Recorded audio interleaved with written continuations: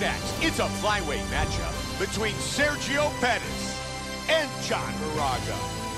Our tale of the tape for this flyweight fight. Pettis is 22, Moraga is 31. Pettis will have a three-inch reach advantage. Bruce Buffer. Ladies and gentlemen, this fight is three rounds in the U. Sergio Pettis, John Moraga. Ready. And we are underway.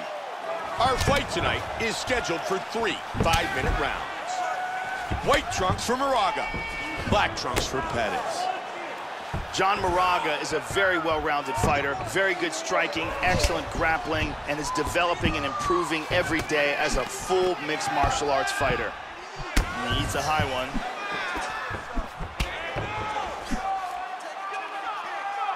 Good job blocking the punch. Solid leg kick by Pettis.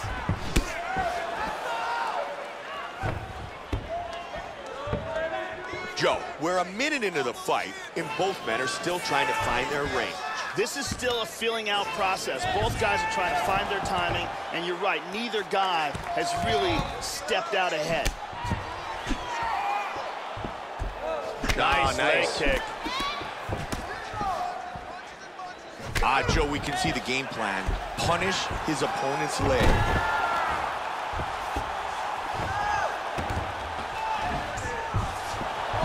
And he's going to transition to the back.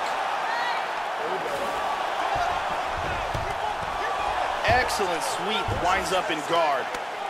He escapes, and he's back on his feet. Good leg kick.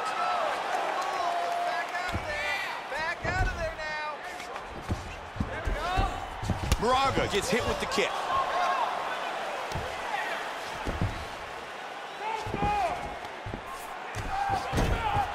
Side control.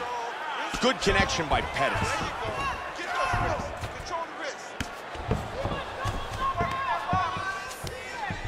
Moves into full mount here.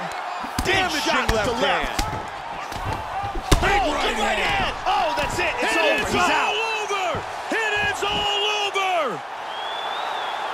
Got the full mount, secured the position, and dropped bombs.